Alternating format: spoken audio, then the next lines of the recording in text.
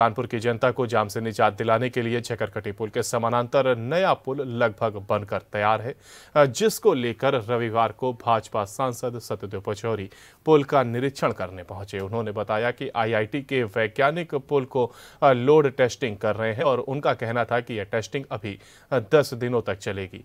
उसी बीच अधूरे काम भी पूरे कर लिए जाएँगे और इसके बाद आईआईटी अपनी रिपोर्ट शासन को सौंपेंगे। उन्होंने उम्मीद जताई है कि नए साल पर पुल आम जनता के लिए खोल दिया जाएगा।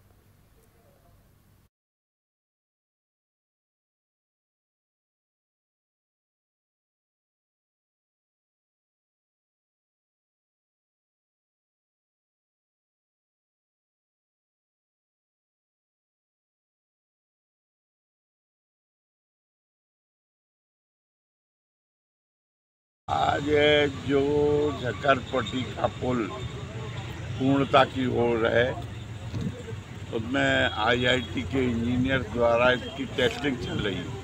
लोड टेस्टिंग कहते हैं लोड बियरिंग के ये कितना लोड ले पाएगा ये पुल और वो टेस्टिंग चल रही है, दस दिन तक चलेगी।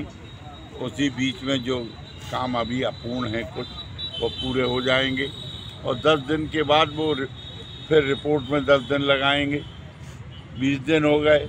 फिर रिपोर्ट केंद्र सरकार को जाएगी, केंद्र सरकार निर्णय करेगी। तो मैं समझता हूँ कि नए वर्ष में कानपुर को जगरपुटी पुल के रूप में नया तोहफा मिलेगा।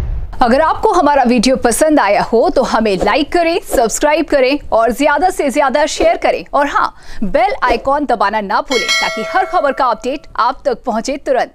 आप हमें इंस्टा ट्विटर और फेसबुक पर भी फॉलो कर सकते हैं। हमारी आईडी है एट द रेट न्यूज़